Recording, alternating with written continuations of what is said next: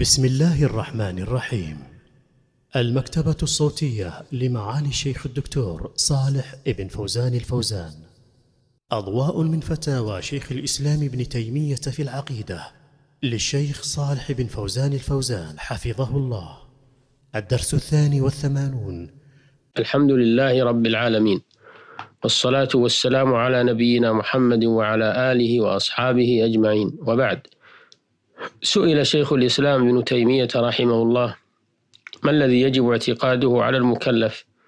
وما الذي يجب عليه علمه؟ وما هو العلم المرغب فيه؟ وما هو اليقين؟ وكيف يحصل؟ وما العلم بالله؟ فأجاب عن هذه التساؤلات بقوله الحمد لله رب العالمين.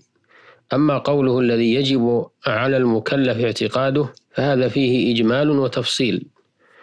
أما الإجمال فإنه يجب على المكلف أن يؤمن بالله ورسوله ويقر بجميع ما جاء به الرسول من الإيمان بالله وملائكته وكتبه ورسله واليوم الآخر وما أمر به الرسول ونهى بحيث يقر بجميع ما أخبر به وما أمر به فلا بد من تصديقه فيما أخبر والانقياد له فيما أمر. وأما التفصيل فعلى كل مكلف أن يقر بما ثبت عنده من أن الرسول صلى الله عليه وسلم أخبر به وأمر به. وأما ما أخبر به الرسول ولم يبلغه أنه أخبر به ولم يمكنه العلم بذلك فهو لا يعاقب على ترك الإقرار به مفصلا وهو داخل في إقراره بالمجمل العام. ثم إن قال خلاف ذلك متأولا كان مخطئا يغفر له خطأه إذا لم يحصل منه تفريط ولا عدوان. ولهذا يجب على العلماء من الاعتقاد ما لا يجب على آحاد العامة ويجب على من نشأ بدار علم وإيمان من ذلك ما لا يجب على من نشأ بدار جهل. وأما ما علم ثبوته وأما ما علم ثبوته بمجرد القياس العقلي دون الرسالة فهذا لا يعاقب إن لم يعتقده. ثم تطرق رحمه الله إلى تفنيد مقالة المتكلمين. الذين يميزون بين ما ثبت بالعقل فيوجبون الإقرار به دون ما ثبت بالشرع. قال رحمه الله وأما قول طائفة من أهل الكلام إن الصفات الثابتة بالعقل هي التي يجب الإقرار بها ويكفر تاركها بخلاف ما ثبت بالسمع فإنهم تارة ينفونه وتارة يتأولونه أو يفوضون معناه وتارة يثبتونه لكن يجعلون الإيمان والكفر متعلقا بالصفات العقلية فهذا لا أصل له عن سلف الأمة وأئمتها إذ الإيمان والكفر هما من الأحكام التي تثبت بالرسالة وبالأدلة الشرعية يميز بين المؤمن والكافر لا بمجرد الأدلة العقلية. وأما قوله يعني السائل ما الذي يجب عليه علمه فهذا أيضا يتنوع. فإنه يجب على كل مكلف أن يعلم ما أمر به أن أن يعلم ما أمر الله به فيعلم ما فيعلم ما أمر بالإيمان به وما أمر بعلمه بحيث لو كان له ما تجب فيه الزكاة لوجب عليه تعلم لوجب عليه تعلم علم الزكاة. ولو كان له ما يحج به لوجب عليه تعلم علم الحج وكذلك أمثال ذلك. ويجب على عموم الأمة علم جميع ما جاء به الرسول صلى الله عليه وسلم بحيث لا يضيع من العلم الذي بلغه النبي صلى الله عليه وسلم أمته شيء وهو ما دل عليه الكتاب والسنة. لكن القدر الزائد على ما يحتاج إليه المعين فرض على الكفاية إذا قامت به طائفة سقط عن الباقين. وأما العلم المرغب فيه جملة فهو العلم الذي علمه النبي صلى الله عليه وسلم أمته لكن يرغب كل شخص في العلم الذي هو إليه أحوج وهو له أنفع وهذا يتنوع فرغبة عموم الناس في معرفة الواجبات والمستحبات من الأعمال والوعد والوعيد أنفع لهم وكل شخص منهم يرغب في كل ما يحتاج إليه من ذلك. ومن وقعت في قلبه شبهة فقد تكون رغبته في عمل ينافيها أنفع من غير ذلك. ولما كان السائل قد سأل ما هو اليقين؟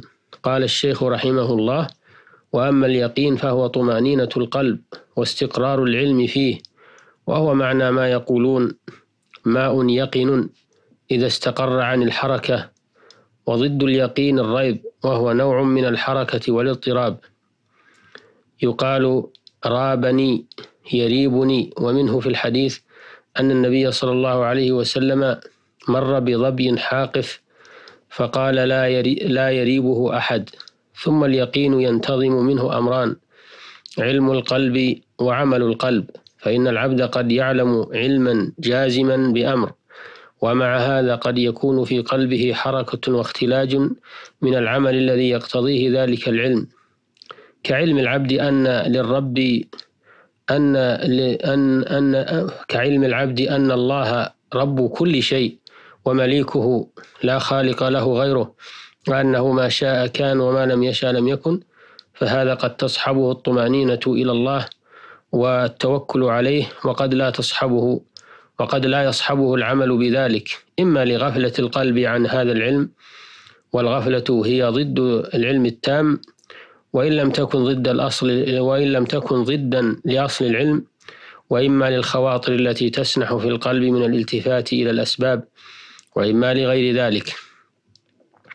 وفي الحديث المشهور الذي رواه أبو بكر عن النبي صلى الله عليه وسلم أنه قال سلوا الله اليقين والعافية فما أعطي أحد بعد اليقين شيئا خيرا من العافية فسلوهم الله. فأهل اليقين إذا ابتلوا ثبتوا بخلاف غيرهم فإن الابتلاء قد يذهب إيمانه أو ينقصه.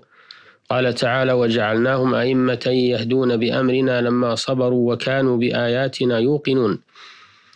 ألا ترى إلى قوله تعالى الذين قال لهم الناس إن الناس قد جمعوا لكم فاخشوهم فزادهم إيمانا وقالوا حسبنا الله ونعم الوكيل. فهذه حال هؤلاء. قال تعالى يا أيها الذين آمنوا اذكروا نعمة الله عليكم. إذ جاءتكم جنود فأرسلنا عليهم ريحا وجنودا لم تروها وكان الله بما تعملون بصيرا. إلى قوله هنالك ابتلي المؤمنون وزلزلوا زلزالا شديدا. وإذ يقول المنافقون والذين في قلوبهم مرض ما وعدنا الله ورسوله إلا غرورا. قال تعالى وما جعلنا أصحاب النار إلا ملائكة وما جعلنا عدتهم إلا فتنة للذين كفروا ليستيقن الذين أوتوا الكتاب الآيتين. وأما كيف يحصل اليقين فبثلاثة أشياء.